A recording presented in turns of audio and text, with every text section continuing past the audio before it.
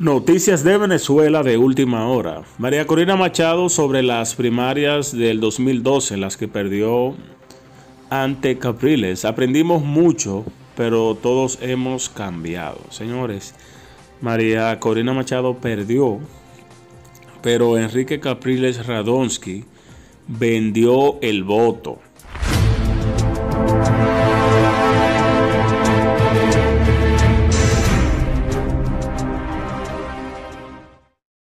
Hola, ¿cómo están? Gracias por visitar nuestro canal. Antes de iniciar con las noticias, te pedimos que nos ayudes con tu suscripción y actives la campanita para que te enteres al momento cuando subamos un nuevo video. Deja tus comentarios, comparte y dale like. Es de mucha ayuda para nosotros.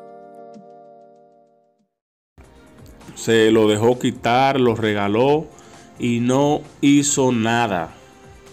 Piedad Córdoba no cree que Alex Sack forme parte de un entramado corrupto y que se haya aprovechado de la crisis de Venezuela. Es inocente. Piedad Córdoba se contradice con lo que dice. Piedad Córdoba dice una cosa, parece que se le olvida y luego dice otra porque hace señalamientos de actos y movimientos extraños del presunto testaferro de Nicolás Maduro y luego trata de ocultar o de decir otros asuntos para demostrar la inocencia de Alec Nain Sack Morán.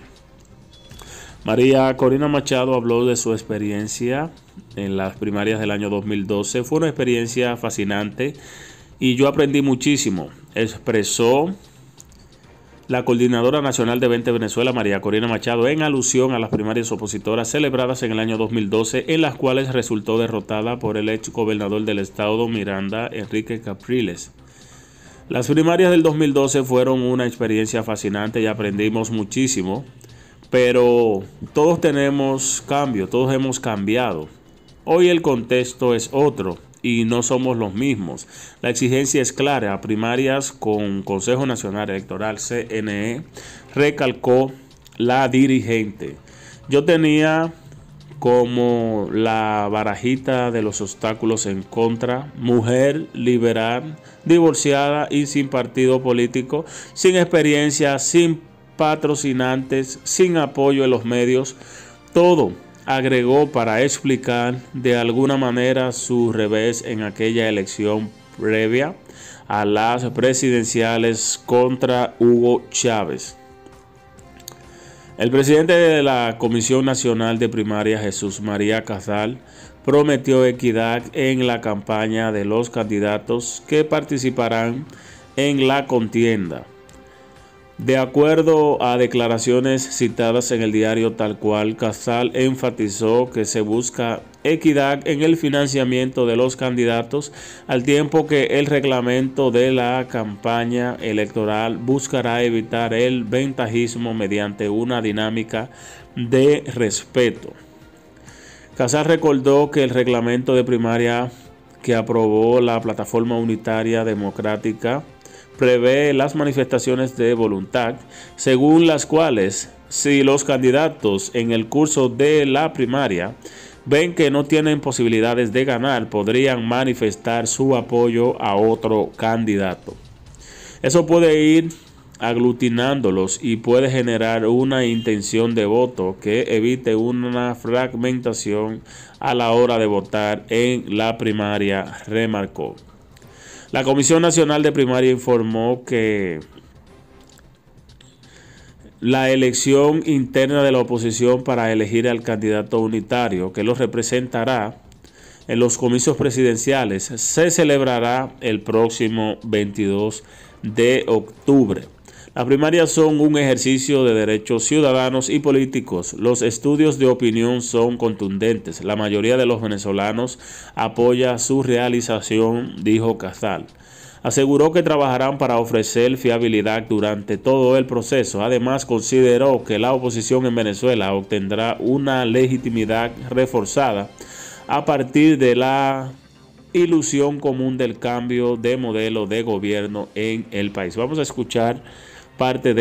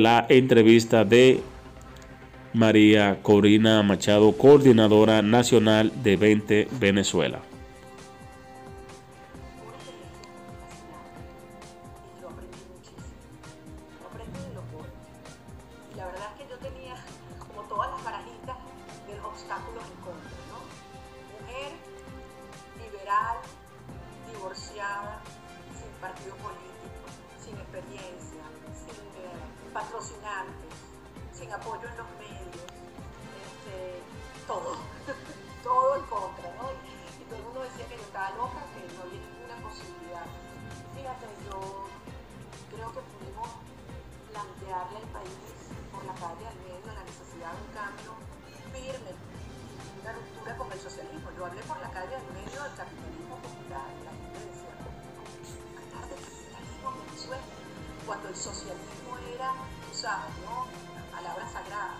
Este, y, bueno, efectivamente yo sí aprendí que tú puedes tener apoyo, respaldo popular, confianza, pero si no tienes una organización que tenga la capilaridad necesaria, la presencia, pero además con, con, la, con la fuerza para luchar por cada voto, no tienes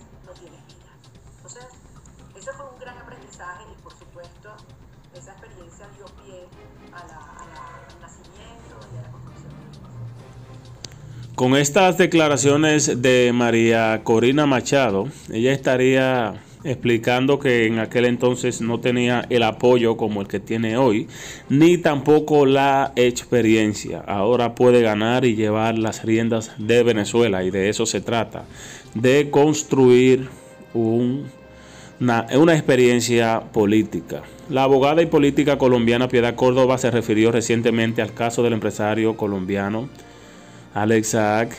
La aludida señaló que no cree que Saak forme parte de un entramado corrupto como señalan las autoridades y la opinión pública.